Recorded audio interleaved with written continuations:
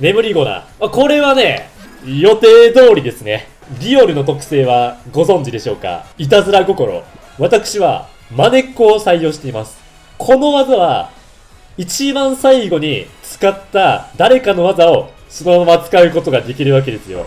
つまり、このマネっ子で、眠りゴナをぶち当てることができるというわけですね。おい、バタフリー、これを読むことができたか？あとは、トゲキッスに交代して、トゲキッスで電抜きして勝ちですね。おい、ちょっと目覚め早いって。おーい。おーい。いや、大丈夫、起きろ、ここでまず。よし強運大ジェットで急所でぶち抜け頼めおーいなんでや